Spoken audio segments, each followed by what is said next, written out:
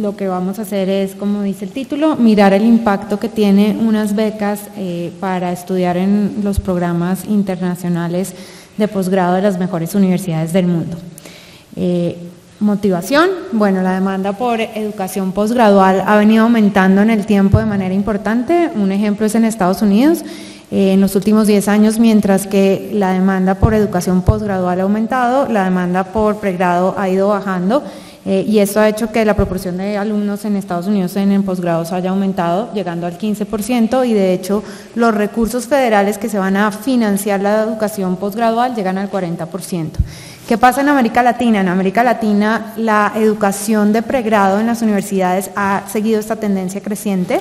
Eh, entre eh, el 2000 y el 2013 pasó del 21% al 43%, pero cuando miramos datos recientes de educación posgradual, vemos que estos todavía están en, en infancia, eh, es muy poca las personas que alcanzan a llegar a este nivel educativo en nuestra región, es solo el 3% con datos del 2018, y eso nos puede dar un indicio que quizás em, dado la importancia que tiene la educación en el desarrollo individual y social, quizás es un área que necesita eh, más ayuda financiera. Eh, el problema es cómo, cómo financiamos eh, este tipo de educación y además no solo cómo financiamos, sí, sino en realidad la pregunta es, ¿vale la pena financiar? esta población sí tiene que, obviamente es población ya graduada en la universidad, si tiene restricciones de crédito, no las tiene, y si estos, eh, este tipo de programas podría o no em, resolver esos problemas. La literatura es inmensa o está creciendo particularmente en los últimos años con estudios de financiación de estudios de pregrado, el ejemplo de Serpi lo paga y hay una literatura muy grande no solo para Estados Unidos, sino también ejemplos muy interesantes para Chile y para Brasil. Eh, sin embargo, no hay evidencia realmente grande para eh, financiación de educación de posgrados y la que existe se concentra particularmente en Estados Unidos o en algunos países de Europa y adicionalmente los estudios que hay, eh, ninguno utiliza metodologías experimentales o cuasi experimentales. ¿Qué hacemos nosotros en este trabajo? Aportamos esta literatura y tratamos de responder esas eh, tres preguntas. esta población, que es profesional, efectivamente tiene restricciones de crédito, si logran eh, aumentar matrícula y si tienen impactos en la vida de ellos el reloj no está funcionando, entonces no sé cuánto tiempo tengo. Tú me vas avisando. Em, para los que no saben, el crédito esta 2020 había financiado a cerca de 13.200 estudiantes. Eh, lo que hace esta, este, este programa es que financia maestrías, doctorados y especializaciones en el área de salud en las mejores universidades eh, del exterior y les da a las personas que aplican y que ganan esta matrícula hasta 50 mil dólares. Eh, es, una, es un crédito, eh, una vez las personas se gradúan, deben pagar a una tasa de interés em, competitiva, pero hay posibilidad de condonación de este crédito de parte de la deuda.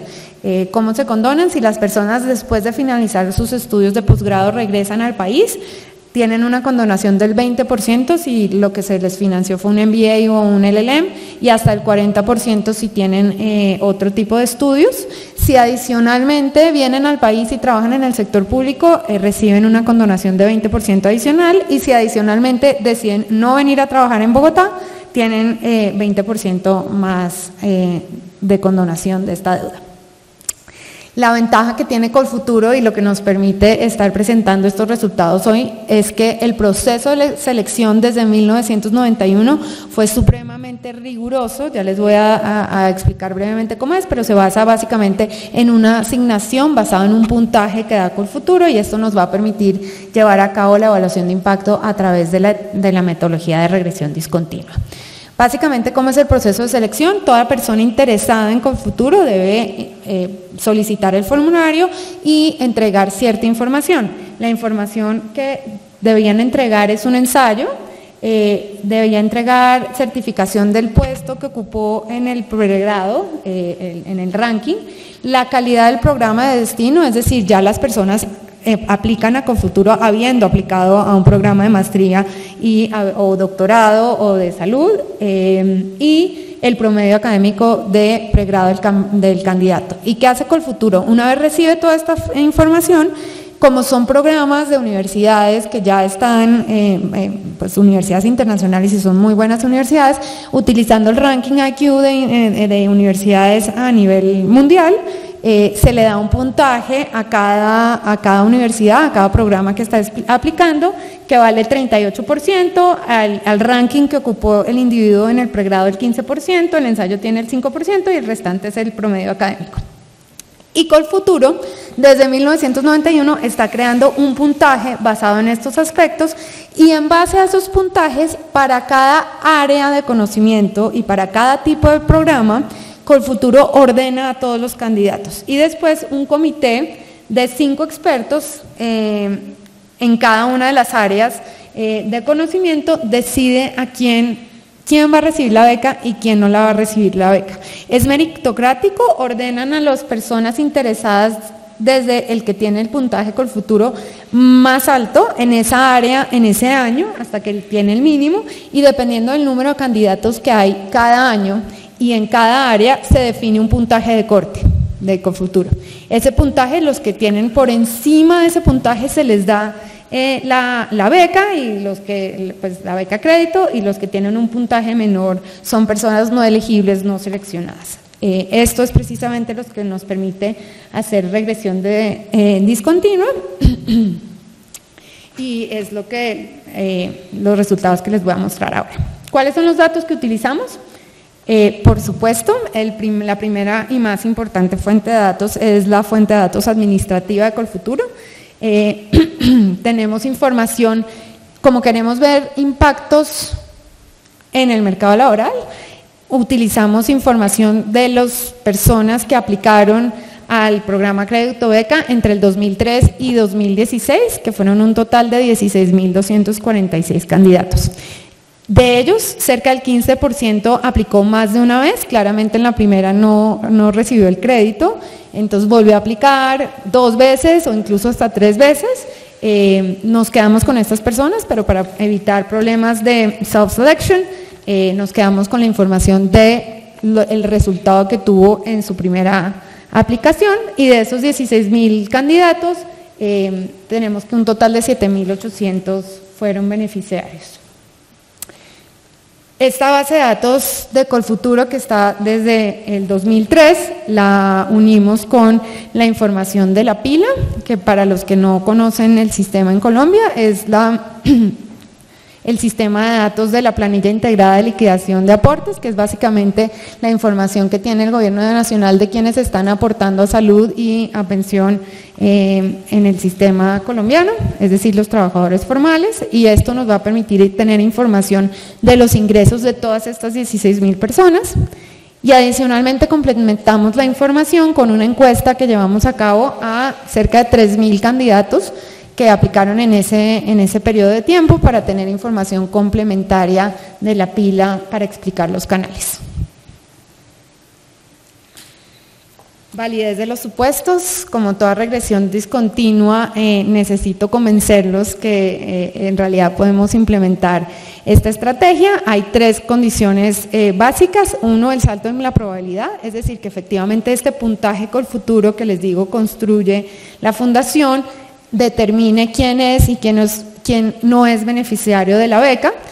Necesito que demostrarles que no hay manipulación del puntaje, es decir, que un candidato no puede cambiar su puntaje o no puede incluso cambiar eh, los puntos de corte de cada año y que hay continuidad local en cada una de estas. Esta es la primera de las condiciones. Acá lo que nos muestra es la probabilidad de ser beneficiario de la beca Colfuturo. Lo que hicimos fue normalizar los distintos puntos de corte a lo largo de los distintos años, a lo largo de las distintas áreas, porque cada año, cada área tenía distintos puntos de corte, ya están normalizados en cero y efectivamente vemos que hay una discontinuidad muy importante. Todo aquel candidato que tenía un puntaje Colfuturo por encima del punto de corte que se definió ese año para esa área, tiene una probabilidad de cerca del 70% de recibir la beca. Alguien que estaba abajo eh, tiene una, una, probabilidad de recibir la beca menos del 5%. Eh, no, hay, no, no, es una no es una discontinuidad perfecta, eh, puede haber personas elegibles que terminan no recibiendo la beca porque fueron financiadas por las universidades a las que iban o tenían otra fuente de, financiación. Y como les dije, hay algunos que aplican nuevamente y por eso hay en la izquierda. Esta es la, prueba de no manipulación, eh, no, hay, no hay saltos discontinuos en la, en la distribución del puntaje y estas son las características, algunas de las características base al momento de aplicar, que también nos muestra que eh, en general son personas muy parecidas a la derecha y a la izquierda. Ahora sí, yendo a la información importante, como les dije, lo primero que hacemos es mirar los impactos que tuvo eh, la beca en el mercado laboral. Para que tengan una idea, cruzamos de los 14 mil, de los 16 mil individuos que tenemos que aplicaron a Corfuturo, logramos cruzar con la pila a 14 mil 600. Eh, esto es cerca del 90% de las personas, las logramos encontrar en la pila.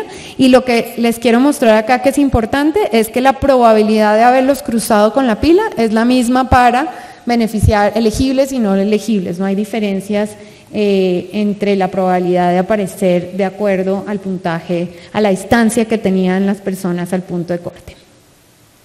Para que tengan una idea, entonces tenemos datos de la pila que vamos a mostrar, los promedios de los ingresos laborables diarios que tienen las personas, el número de días cotizados en el año y eh, el ingreso laboral anual, que es el promedio diario por el número de días cotizados.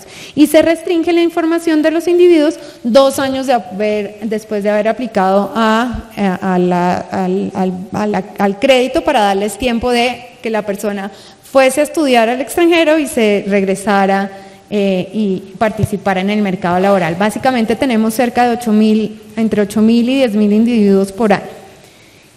Estos son los resultados, las gráficas dicen más que muchos números, eh, entonces acá tienen el promedio, estos son los impactos en el salario, en el logaritmo natural del salario eh, promedio y en el logaritmo, eh, perdón, en el total de días laborados al año, en los dos estamos viendo un salto, ¿qué pasa con el ingreso laboral anual? Perdón, que es el la multiplicación de los dos, también vemos eh, un salto. Estos los resultados acá, ustedes pueden ver lo que estoy resumiendo acá es los impactos que tenemos con distintos eh, tipos em, de impactos. las primeras columnas es el impacto de ser elegible, la segunda columna en cada una de las variables es el impacto de ser beneficiario, por eso acá está la primera etapa, este es el salto en la primera etapa.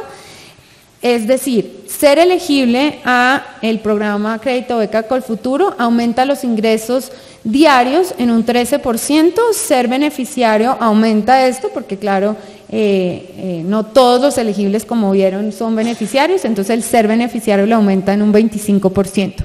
Como vimos en las figuras, eh, aumentan los días trabajados al año, el ser elegible 25 días sobre una base de de 348 días eh, y los días cotizados de los beneficiarios en 46 y esto genera impactos realmente importantes y significativos en los salarios que están eh, devengando estas personas. El ser elegible aumenta los ingresos anuales en cerca de un 20% y el ser beneficiario en cerca de un 37%. Em, algo de impactos heterogéneos, eh, acá tenemos las mujeres y los hombres y en general estamos viendo que todo esto está siendo eh, arrastrado por los impactos que tiene la beca en los hombres. Y, es, si estudiaron el pregrado en IES no oficiales o no oficiales, están, estamos teniendo más impactos, estamos encontrando en los oficiales. Estos son resultados realmente importantes. Tengo un minuto para decir los canales. Obviamente la pregunta es cuáles son los canales y qué puede estar explicando esto. El objetivo de la beca es aumentar la educación. Entonces lo que queremos ver es si efectivamente sí estaba eh, aumentando la educación de estas personas y para eso utilizamos los datos de la encuesta. Acá lo que les quiero mostrar es, tenemos la encuesta, los resultados de la encuesta, podemos ver el tipo de educación que tienen las personas y estamos viendo que aumenta la probabilidad de que las personas tengan efectivamente un estudio de posgrado, pero aún más que tengan un estudio de posgrado internacional aumenta los años de educación posgradual, o sea, qué tan largo fue el programa que terminan estudiando las personas y aumenta de manera importante la calidad de los programas a los que están asistiendo. Este es el ranking de los programas al momento de aplicar, que no había diferencias, y este es el ranking de los programas, ya voy a terminar, eh, que efectivamente van eh, aumentando. Básicamente aumenta, eh, esos son los, años, los resultados en educación. Esto es solo para mencionar, estos son utilizando la información que dieron las personas en la encuesta, los impactos son muy similares y lo que hacemos acá es qué tanto de estos impactos en salarios se explica por eh, la educación. Eh, si vemos el ser beneficiario, como nos daban los datos de la pila, aumenta cerca del 30% los ingresos laborales anuales. Una vez se controla por una cantidad de características, baja 24%. Y una vez incluimos los controles de educación, el coeficiente baja al, 5, al 50%. Es decir, la educación y el, impacto que la beca genera en aumentos de la calidad y cantidad de la educación posgradual está explicando 50% de los impactos. Las conclusiones importantes, eh, trae eh, importantes impactos en salarios, todo parece ser eh, jalado por los salarios de los hombres, las personas ganan mejor y más educación y mm, es claro que incluso para estos profesionales hay importantes restricciones presupuestales. Eh, gracias.